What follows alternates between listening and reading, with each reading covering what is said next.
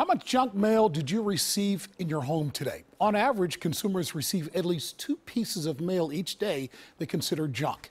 That's nothing compared to Sandra Donnelly, what she deals with. Actually, it's mail addressed to her 92 year old mother that fills her mailbox every day. So she called me for help.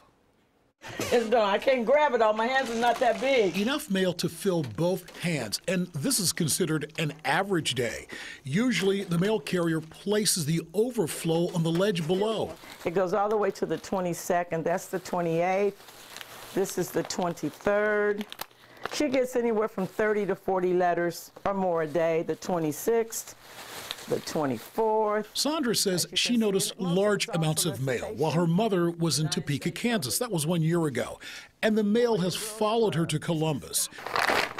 She returned the mail, but it only seems to increase. So she drafted and sent nearly 140 letters to the solicitors. If they could not send this, we'd appreciate it. She didn't ask for it, whatever, but that didn't do any good.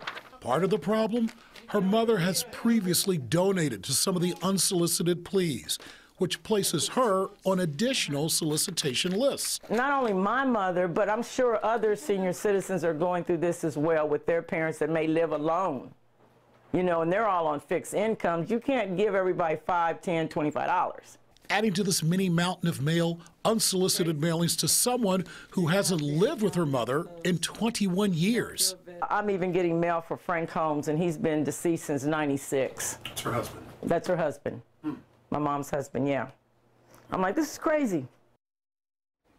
Now, if you've lost a loved one, you can go to the U.S. Postal Service website slash manage mail. That'll help you uh, get that person off of the list. I can remove their name. Now, for mass mailings, which we all receive, directmail.com is the way to go. But say you're like Colleen and you like one or two magazines, well, you can select which magazines you want to come to your house. And finally, consumer.ftc.gov to get your name off of the list of all of the solicitations that we receive each and every day. If you have an issue in your community, give me a call toll free 1 855 44 JAXON. Leave me a message or hit me up at bettercalljackson.com or on one of my Facebook pages. You know, the exact same thing happened to my mother. And I always caution people if someone's in the early stages of Alzheimer's, she would get those solicitations and she thought they were bills. So she was just writing checks to everyone before we figured out. So check your parents' It's hard to do, but check their bank account if you can. Because once they do that, yes. they're put on a list yes. and they'll get even more solicitations. Right.